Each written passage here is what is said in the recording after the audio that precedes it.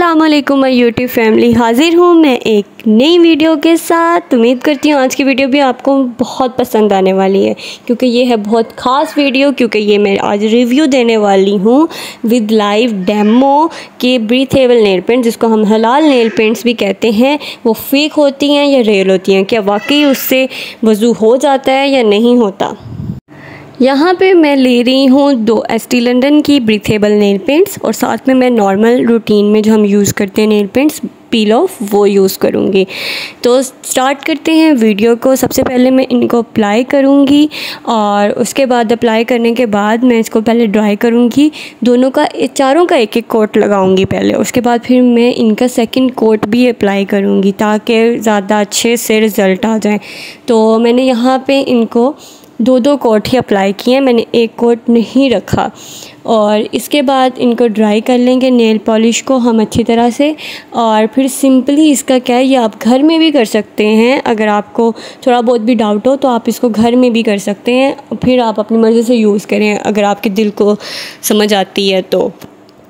उसके बाद मैंने सिंपली एक कौन मेहंदी ली है, जो नॉर्मल हम मेहंदी यूज़ करते हैं। वो मैंने अब सब नेल पेंट्स के ऊपर में सेंटर पे उसको अप्लाई कर लिया है। ठीक है, इसको फुल नहीं कवरेज किया क्योंकि साइड्स पे फैल जाती है तो फिर लगता है कि चलो जी साइड्स पे कलर आ गया, नहीं, मैंने सेंटर पे रखा है उसको।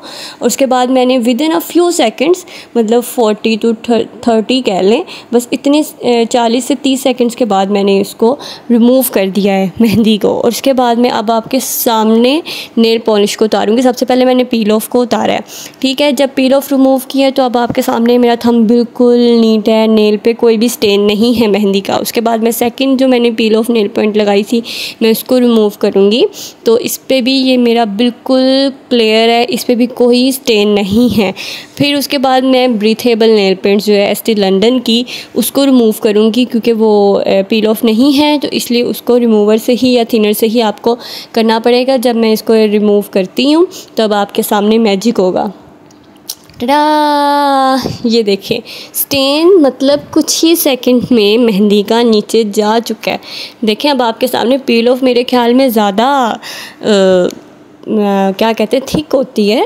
तो उसमें और इसमें क्या फ़र्क था ऐसा कि यहाँ इसमें ब्रीथेबल में नीचे चलेगी टेक्नोलॉजी यार आज इतनी जब जहाँ पे बढ़ गई है, इतनी तेज़ हो गई है, हमने पता नहीं क्या किसे क्या लोगों ने याद कर लिया है तो फिर वहाँ पे एक नेल पेंट नहीं बन सकती कि जिससे वज़ू हो सके।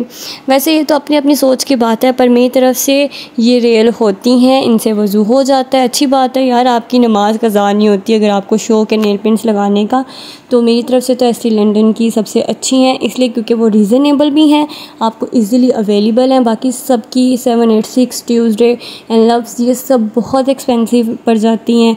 तो इसलिए मैं वो यूज़ नहीं अभी तक की, क्योंकि मुझे ये इजीली अवेलेबल थी और इसके रेट्स बहुत अच्छे थे। तो मेरी तरफ़ से इसके लिए ओके है। तो बाकी आपकी अपनी मर्ज़ी है, आप यूज़ करना चाहें तो ले सकते हैं। और मिलते हैं नेक्स्ट वीडियो में नेक्स्ट किसी टॉपिक के साथ। तब तक के लिए अल्लाह हाफिज़।